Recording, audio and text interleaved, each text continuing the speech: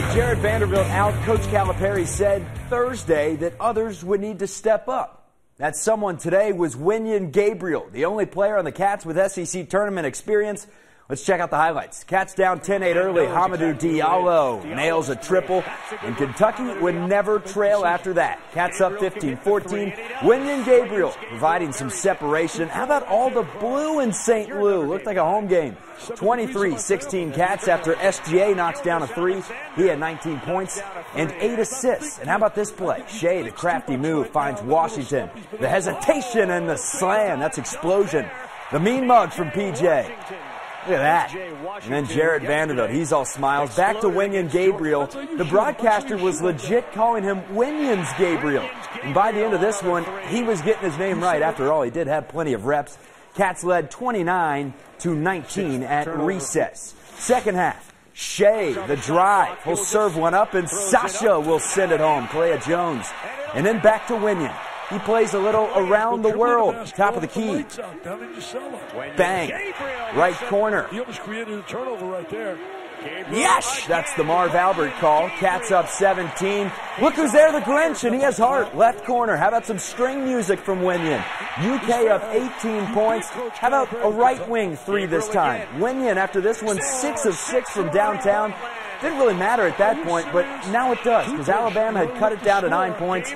Gabriel, how about that? Seven of seven from deep. He scores a team high 23. His seven threes are an SEC tournament record. Cats win big, 86 to 63. Keith Farmer joins us live with our True Blue St. Lou coverage. Keith. Charlie, before today, two Wildcats had had the chance to hit six three pointers in an SEC tournament game. Well, Wenyen Gabriel shoots past them with seven against Alabama. And, you know, I'm not even sure that he hit any rim when he hit those three pointers as he led UK with 23. I mean, it just feels like you just, I don't feel like I was throwing a rock in the ocean you could have missed. Yeah, when he's making shots like that, defense have to stick, um, or I just get in the lane and, and they give me a layup. But uh, they, they came to me a couple times in the layup and he was wide open. I knew I had to find him and give him the ball, and he, he didn't miss tonight. it was perfect. This definitely giving me more confidence of shooting. You know, you make seven to threes, so um, next game I'm definitely going to continue to be aggressive. How fun was that watching Wenyen? Yeah, it was real fun. I mean, just seven for seven, that was great. I mean, it was great to watch. He's, I don't even think none of his shots hit the rim. It was crazy. It was nothing but net. And Wenyen was terrific today. So was Sacha. Uh, they both played great on uh, both ends of the floor, making shots. Uh, Wenyen was making shots. Sacha was getting easy dump offs, and uh, he had a lob dunks. I mean, it was just great. Uh, happy for them guys, and I hope they uh, bring it tomorrow. I think we can even be better than we did today.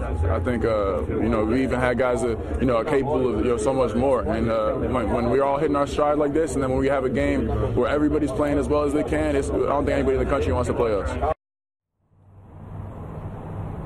Sacha, another key performer for the Wildcats, especially with Jan- Jarred Vanderbilt being out. He earned the start in the second half and he performed well. Six points, five rebounds, and two block shots. Really key for these Wildcats as they go for a 31st overall SEC tournament championship and a fourth in a row. Charlie, back to you.